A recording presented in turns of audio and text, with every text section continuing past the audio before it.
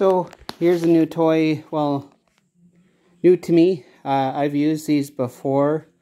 Um, they are they are uh, very handy and they work very well in uh, light brush.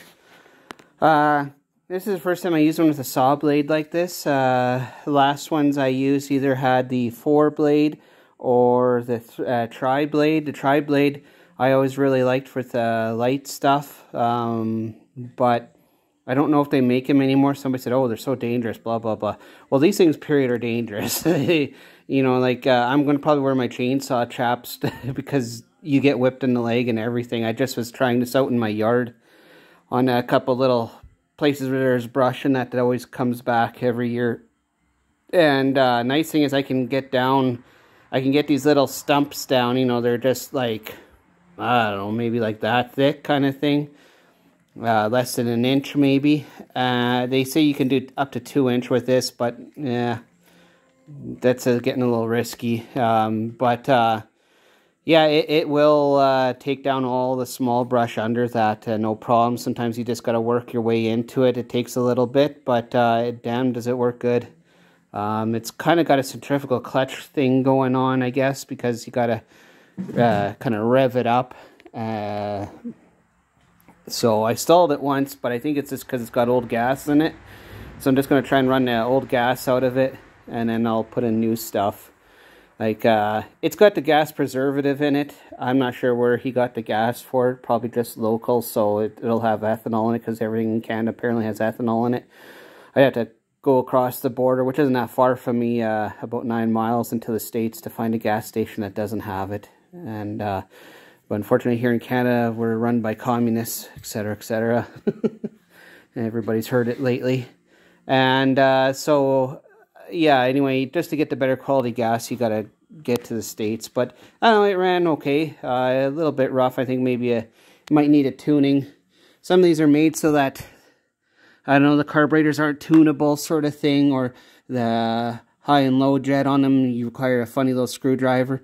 And all I do to fix that problem is I take uh, I take the plastics off and then I take my Dremel and I put a little grinding disc on it and then I just make two slots for a flat screwdriver. It's all you need to do. So they, they want everything to run lean and clean sort of thing, but it doesn't always work for these motors and they run awful after. So yeah, this is the first time I'm using this style of blade on it. Uh, this is a sharpenable blade. You can use uh, sort of like a chainsaw type file, 530 seconds file for little hole, and then all the little slots, and you use uh, a small flat file for that. So I'll probably do that tomorrow. I've got a chiropractor appointment of all things uh, uh, to do, and uh, then maybe tomorrow, depending what the weather's like. Today it's not bad. We had snow overnight, but we're supposed to get some shitty weather uh, coming out of probably northern Manitoba. They always call it an Alberta Clipper, but half the time it comes out of northern Manitoba, especially when the cold wind comes. And so I'm going to, once uh, the weather's okay, I'll get the uh, safety apparatus on and I'll go take it out in the bush. I'll refuel it, sharpen it, and uh, go out in the bush, and then we'll get all the regrowth from last year down, and uh, I'll go deal with uh, all the sticks and stuff uh, that uh, from what I was clearing this year. So, but yeah, this is this is kind of nice to be able to use this from my ATV club. Uh, they also bought like a walk behind bush hog type, type mower, like a DR field and brush mower uh, just because some trails don't always get traveled or we've got little parking areas uh, for people to unload their machines and that so we mow that stuff down and uh, what else? We've uh, we're also going to probably be making some more trails in the near future here so yeah. So this is quite handy. This uh, is a Husqvarna. Yeah it's from Sweden I'm guessing. Could be from Denmark for all I know too. It's a Husqvarna 128R so, yeah, this one you prime it with the little priming bulb. This is your choke, so that's fully choked.